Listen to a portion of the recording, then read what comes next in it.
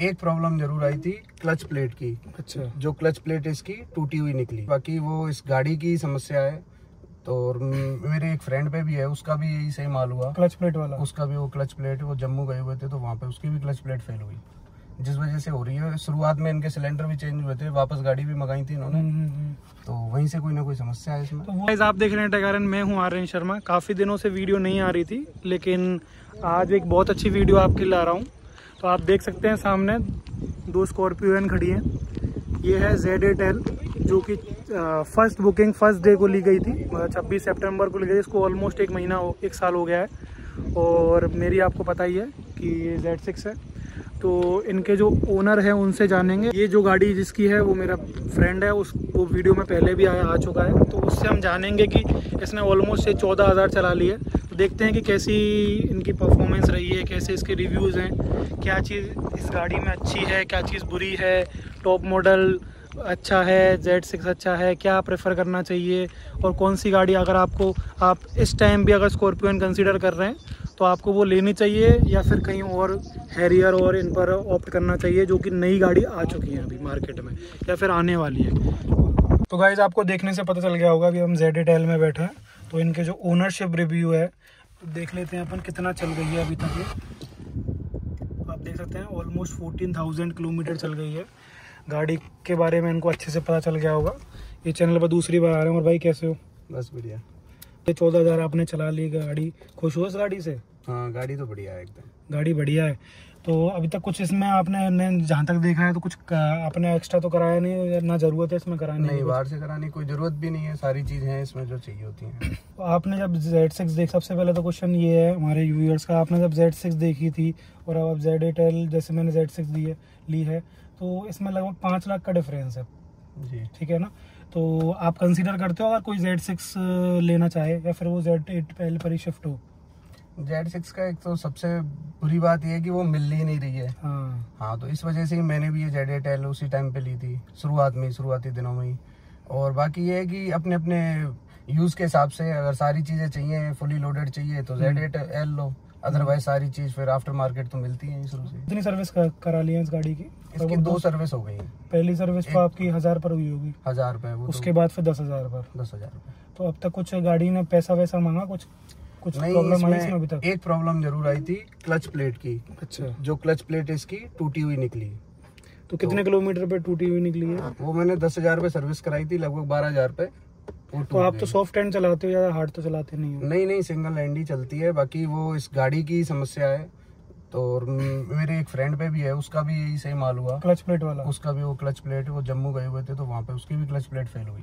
तो उसका रीजन क्या बताया इन लोगों ने? रीजन इन्होंने तो कुछ भी नहीं बताया कि इन्होंने तो बोल दिया जलने की गारंटी नहीं है टूटने की गारंटी होती है। पर बात यह है कि इसमें वहीं से कोई ना कोई डिफेक्ट आया है। जिस वजह से हो रही है। शुरुआत में इनके सिलेंडर भी चेंज हुए थे वापस गाड़ी भी मंगाई थी इन्होंने। हम्म, हम्म, हम्म। तो वहीं से कोई ना कोई समस्या है इसमें। तो वो तो हो सकता है क्योंकि पहला स्लॉट है आपने पहली पहली गाड़ी ली है तो उसमें हाँ, हाँ, दिक्कत कम- रहती है गाड़ी में। वो तो एक तो रिस्क रही इतना तो रिस्क रहता ही है कंपनी डिफेक्ट था जो इन्होंने करके दे दिया है। चलो अच्छी बात है। और एवरेज वगैरह कितना दे रही है गाड़ी अभी आपका? एवरेज सिटी में तो वही है बारह से तेरह बारह तेरह। बारह तेरह। करते क्या हुआ आप? दस हज़ार के बाद ज़रूर इसकी वो बढ़ गई थी। दस हज़ार के बाद सर्विस के बाद ज़रूर थोड़ा इसका एवरेज चौदह तक हाईवे पंद्रह तक दे देती है चौदह पंद्रह चलो बढ़िया है इतनी बड़ी गाड़ी अगर आपको पंद्रह का एवरेज भी दे रही है तो मोर देन सफिशियंट हाँ पर वो एवरेज अपन निकाल नहीं सकते पंद्रह चलाने के लिए फिर वो पंद्रह के एवरेज के लिए सत्तर पे चलाते रहो ऐसे। सत्तर पे चलाते रहो हाँ, उसकी वजह से फिर रीजन वगैरह की दिक्कत रहती है कभी आपके साथ? आया वो एक बार आया था जब सर्विस के बाद सर्विस के तुरंत बाद आ गया था बाकी वो उन्होंने फिर लैपटॉप से सही कर दिया उसमें। अच्छा और आपने बताया था कि पीछे से जैसे गाड़ी के आपका एक्सीडेंट हो गया था तो वो पूरा इंश्योरेंस में कवर हो गया था? हाँ टोटल इंश्योरेंस में कवर था नई गाड़ी अच्छा अगर आप किसी को ऐसे कोई पूछे आपसे कि भाई ये वाली गाड़ी अब मुझको कोई गाड़ी लेनी है कोई पच्चीस लाख तक की गाड़ी बताओ तो आपकी नज़र में कौन सी अभी भी यही गाड़ी है कोई और हाँ गाड़ी? में तो मेरे हिसाब से इसके अलावा कोई बेटर ऑप्शन है भी नहीं। अदरवाइज़ फिर तुम जंप करोगे पचास लाख तक जाओगे फॉर्चूनर फिर तो फॉर्चूनर आएगी। बाकी इस रेट में तो यही ऑप्शन है। बेस्ट है सब तरीके से। इस सर्विस कैसी लगी आपको? मेरे को तो इतना कुछ खास नहीं लगी सर्विस मैंने जो कराई है। क्योंकि काफ़ी सर्विस सेंटर पर डिपेंड करता है। जैसे अपने भरतपुर का सर्विस सेंटर है वो काफ़ी ठीक है। लेकिन जब जयपुर में बात करोगे ना तो जयपुर में इतना अच्छा नहीं है। तुमको क्या लगा? नहीं सर्विस का तो ये है कि अभी जो तो नई गाड़ी है। हम्म। ऐसा इसमें कुछ सर्विस में कुछ होना भी नहीं है। वही इंजन ऑयल फ़िल्टर वगैरह है वो तो अभी नॉर्मली हो रहे हैं। हम्म। बाकी आगे चल के पता चलेगी। अब जैसे जेड सिक्स में क्या है इन लोगों ने कैमरा कंपनी से लगा रहा है ठीक है? लेकिन कई कई जगह पर क्या है कैमरा की ओवर प्राइस कर रखी है कोई भी प्राइस का स्टैंडर्डाइजेशन नहीं है। कहीं पे कोई सात मांग रहा है कहीं पे कोई दस मांग रहा है और अच्छे से लगा भी नहीं पा रहे हैं ये लोग।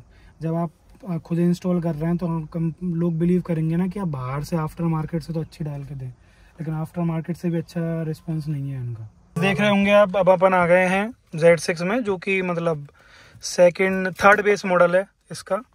तो भाई कुछ अलग फील हो रहा है ऐसा लग रहा है सस्ती गाड़ी में आ गए थोड़ा नहीं थोड़ा सेटिंग का अंतर है बाकी तो बाकी तो सेम है। चलाने में सेम है। चलाने में सेम है। तो इस गाड़ी को भी कंसीडर करोगे अगर कोई बीस लाख में लेना चाहे थोड़ा बहुत पुश करके उस पर ही जाए? नहीं नहीं ये ज़्यादा सही है। ये ज़्यादा सही है? बाहर से सब सेम अंदर भी बाकी पावर भी सेम है। हाँ। और थोड़ा बहुत जो भी कैमरे वैमरे का अंतर है वो आप आफ्टर मार्केट भी करा सकते हो। पाँच लाख बहुत हो जाते हैं गाड़ी के बजट में। हाँ पाँच अब तो ज़्यादा गैप आ गया साढ़े पाँच लाख समथिंग का गैप आ गया है। मेन चीज़ है सनरूफ भी है इसके अंदर। सन हाँ, बस पानी तो नहीं आता ना। नहीं, पानी पानी नहीं आता। एक बार बच गए थे पानी आते आते। और बाकी सब चीज़ तो है इसके अंदर। और क्या है?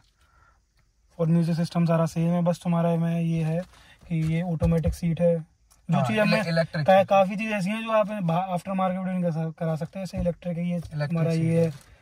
और कनेक्टेड कार फीचर हैं। वो हाँ, इतने है कि वो इतने काम नहीं करते इसमें। टॉप मॉडल में वेंटिलेटेड सीट ज़रूर होनी हाँ चाहिए वो होनी चाहिए क्योंकि आप यार जब तेईस चौबीस लाख रुपए खर्च कर रहे हो तो उसमें होना अब तो शायद पच्चीस की आ रही है। पच्चीस की क्या भाई? यही बीस की हो गई है। और महँगी हो गई होगी वो। तो गाइज़ डाउट आपके सारे क्लियर हो गए होंगे। Z six Z eight L और जो भी है वो पहले भी हमने क्लियर कर दिए लेकिन अब जो ओनरशिप है जो ओनरशिप रिव्यू है वो हमने क्लियर कर दिया। मेनली जेड सिक्स का प्रॉब्लम जो है, वो ये है कि जो कंपनी है कंपनी से कुछ भी अपने को लग नहीं पा रहा है। जैसे फॉग लैम्प्स कंपनी में नहीं लग रहे हैं। अगर आपका थोड़ा ज़्यादा बजट है तो आप जेड एट पर जा सकते हैं। अगर आपका थोड़ा बजट बिल्कुल स्ट्रिक्ट है तो आप जेड सिक्स कर सकते हैं। जैसे कि मैंने भी अभी फॉग लैम्प लगवाए थे, लेकिन कुछ- इशू की वजह से वो फॉग लैम्प मुझको निकलवाने पड़े। उसकी वीडियो में नहीं बना पाया। लेकिन अगर आपका बजट कांस्टेंट नहीं है तो आप जेड एट एल पर फॉर श्योर जा सकते हैं। कोई भी कमी नहीं है गाड़ी में कैसी भी। और अगर आप जेड सिक्स जाना चाहते हैं जेड सिक्स भी ले सकते हैं, लेकिन उसमें क्या कुछ आपको आफ्टर मार्केट कराना ही पड़ेगा। ठीक काफ़ी लोग होते हैं वो अपने आफ्टर मार्केट गाड़ी को नहीं छड़वाते तो उनके लिए जेड सिक्स बिल्कुल नहीं है, मैं बिल्कुल मना कर देता हूँ। या फिर जैसी गाड़ी मिली है आपको, वैसी ही आप गाड़ी चलाएँ, ठीक है? तो फिर से मिलते हैं नई और इंटरेस्टिंग वीडियो के साथ, तब तक के लिए जय हिंद, जय भारत।